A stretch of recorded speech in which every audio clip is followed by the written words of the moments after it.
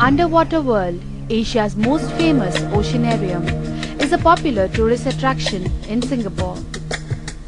This magical world beneath the sea has over 2500 marine creatures falling under 250 species. This fantastic underwater world was opened in the year 1991. Since then, more than 18 million people have come here to get drenched in the beauty beneath the sea.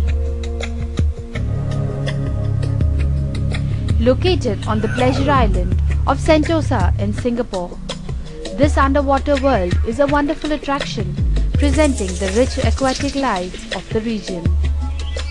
The people who come here see the beauty of the sea animals are taken on a voyage below the water that starts with the sultry sandy beaches and not so deep rock pools at the edge of the water.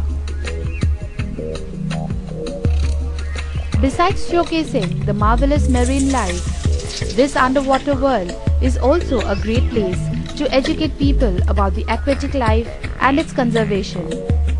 There are many educational and environmental projects in which this underwater world is involved.